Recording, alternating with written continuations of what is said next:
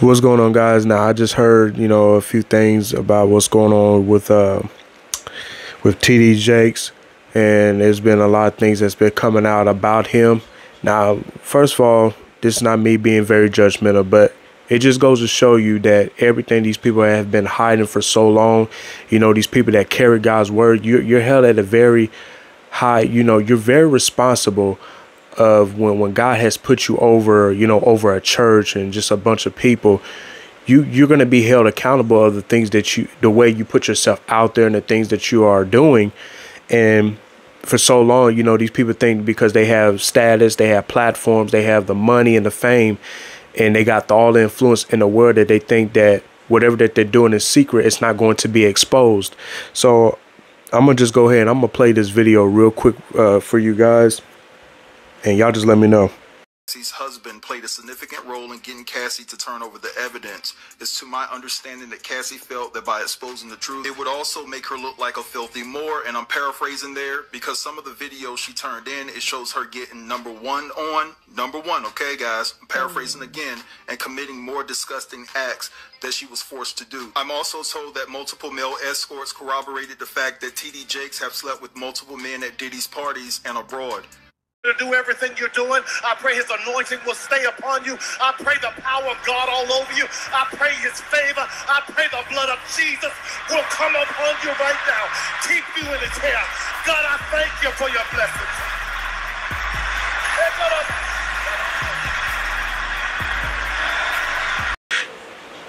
So what I did was I threw that last clip up on there of TJ's getting prayed over by uh what's his name again?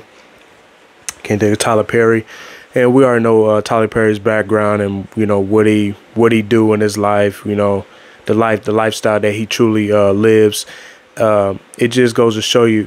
Just because you see somebody praying doesn't mean the Holy Spirit is with them. Because, like I said, uh, the Bible said, uh, give comes out uh, give comes without repentance so just because you see somebody doing something and you saying hey they're gifted but they may be running around with a lot of sin in their life. They haven't took took whatever that they're going through to uh, into the place of God to get that thing right. So just because you see people singing, just because you see people acting and doing things and they saying, "Hey, I'm doing this for Jesus," doesn't mean their heart is 100% right.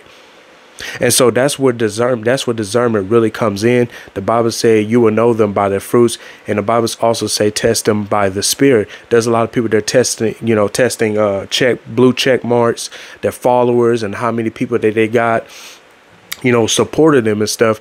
And you're checking the wrong things. You got to test the Spirit, and um. And so it just goes to show you you cannot be deceived by all this stuff. But I seen this little thing that came out I guess it was something about TD Jakes, uh, the trending. It said TD Jakes is uh, trending because of some surprising un unverified claims made by a person on TikTok. This person was Myshia, wherever, posted a video on December 21, 2023, suggesting that singer Cassie Ventura gave evidence to the FBI against Diddy. The allegations involved serious actions during Diddy and Cassie's uh, past relationships.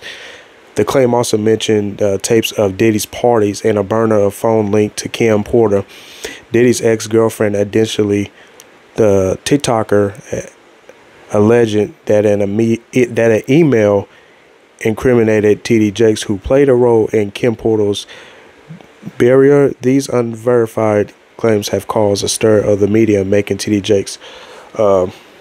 So that was one of the things that that was uh, that was put out there too. Listen, guys, I'm gonna tell you what. I'm not here to to bash, and I know a lot of people they say that they oh you know he's bashing, he's being very judgmental and stuff like that. We all have a past, yes, we all have a past. We all have done wrong things, but some things you just know that you just can't get yourself into.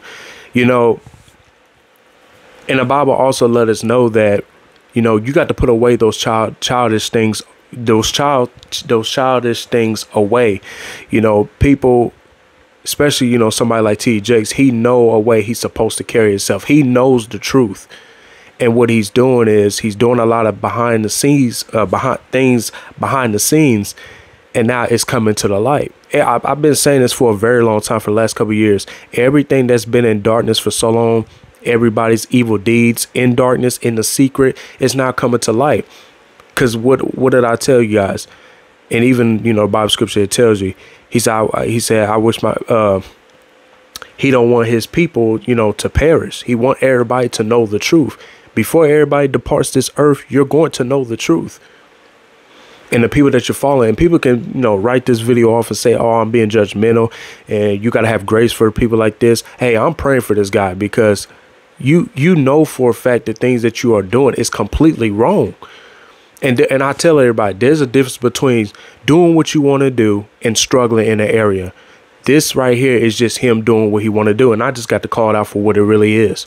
We're supposed to place righteous judgment. See, righteous judgment don't get taught in the house of God anymore. That's been pushed out of the way. So when anybody's trying to correct somebody, anybody trying to say, hey, if you keep going down this path, this is what's going to happen. You know, they take that as, oh, you're just being judgmental. You just think you're better than everybody else. No, we got to tell the truth just like if I'm doing something wrong, I want somebody to hold me accountable and say, "Hey, you're you're you're kind of getting off the narrow path. This is what you need to do because if you keep falling this way, if you keep doing this, you're gonna fall into destruction." And I and I and I and I thank you enough to to tell me the truth, so I don't, you know, fall back into the old things. And then now I know there's destruction that's gonna hit my life. So we have to care. We have to love the people, but at the same time, for me to love you, I got to tell you the truth and you may not like it, you may not agree with it, but it is what it is. And so we got a lot of people they look up to these celebrities, and this and this is another reason why too. They look up to people like this. They put them on a pedestal. This is why you don't put nobody on a pedestal, even including myself. This is why you don't put people on a pedestal. When you put them on a pedestal, you give them so much praise, you acknowledge them so much, their flesh is gonna eventually start rising, whether you believe it or not. And they and they and they carry around false humility. There's a lot of people that's in the body of Christ that's carrying a bunch of false humility. You know, outwardly they saying, "Oh, I'm humble," but back of their minds, they pride is anything. Their pride is so high because people put them on a pedestal. And when you do that, they they're never gonna ever be able to see anything wrong within themselves. And the reason why they don't see nothing wrong within themselves because they've been put on a pedestal for so for so long, for decades. So they don't think that anything that they do is not a problem. So and it's just so sad because people don't read their word like they supposed to. So when somebody like a pastor or whatever is is is the Bible say follow me as I follow Christ. If somebody is getting out of line, if somebody done left the narrow path, and if you had that really close, genuine relationship with Jesus Christ, you're going to discern, you're going to know, okay, he's off track.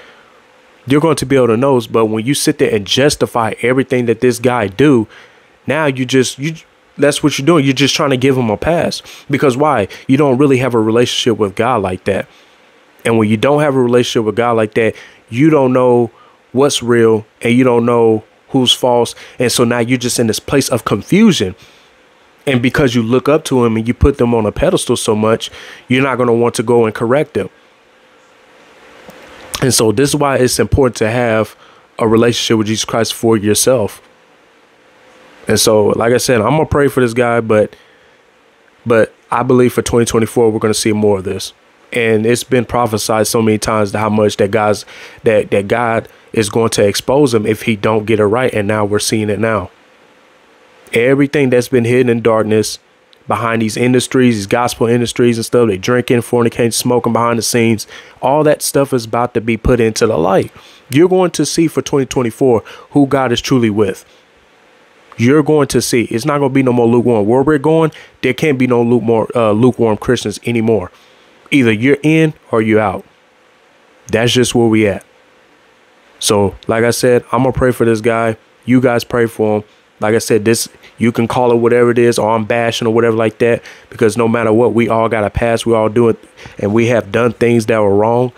But there's a but you got to understand there's a difference between doing what you want to do and knowing the truth than actually struggling and you need an actual help. There's a difference. So let's pray for this guy, but at the same time, God is not pleasing and he's going to be held accountable. He needs to repent. He needs to ask God for forgiveness and he need to he need to stay away from this stuff. See, cause when you start getting into these rooms with these different celebrities and stuff, you know, God's giving you that status to to reach them also. Not only just the people that's in your church, but also to reach the people that have, you know, a whole nother level of influence. But what you do, you get caught up in their status, you get caught up in who they are and their talents and stuff. And and God may had you there in a moment to go speak a word of encouragement or, or, or, or to pray with them and stuff like that. You ain't ministered a word to them not one time because why? You're so busy about getting the clout. Hey, his people are going to follow my people. That's what Christianity, especially over here in America, is literally all about. It's all about clout, getting money, getting fame, and being lifted up yourself. And God is about to destroy that. Love you guys and be blessed.